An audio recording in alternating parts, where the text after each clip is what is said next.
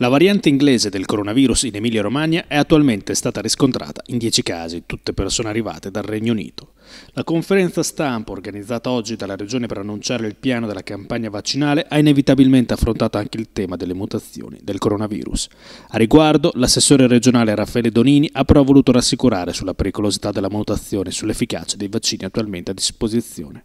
Al Pfizer e al Moderna si aggiungerà in questi giorni anche il vaccino AstraZeneca. Noi abbiamo riscontrato una decina di casi, eh, lo abbiamo comunicato e lo faremo anche nei prossimi giorni qualora ce ne fossero altri, di eh, persone provenienti dal Regno Unito che eh, sono state eh, testate ovviamente con tampone, eh, sequenziato il, il virus e eh, identificato come la cosiddetta variante inglese. Quindi eh, ci sono in corso ovviamente tutti i tracciamenti, la, l'allerta è massima, eh, stiamo ovviamente valutando tutto, tutti i segnali che, che, ci sono sul territorio, ma da questo punto di vista per ora questi sono i numeri.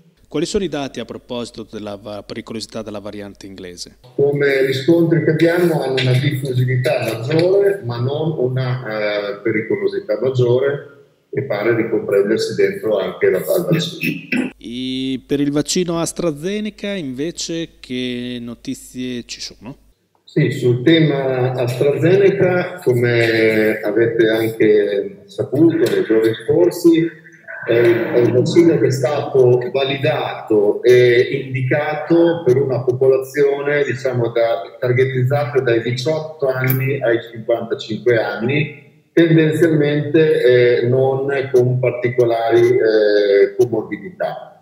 Quindi eh, ciò che si è detto nella conferenza Stato-Regioni, ciò che si apprestano a fare anche le varie regioni, è quello di attivare sostanzialmente un livello parallelo, e cioè vaccinazione, da un lato con i vaccini Pfizer e Moderna, le prime due fasce, diciamo così, quelle più a rischio, e, e, con AstraZeneca eh, anche eh, categorie che il governo indicherà a breve, ma che già risiedono nella terza, nella terza fascia. Per quello che riguarda le forniture previste per febbraio di AstraZeneca sono 81.714 eh, dosi per l'Emilia Romagna a febbraio e 172.822 dosi a marzo.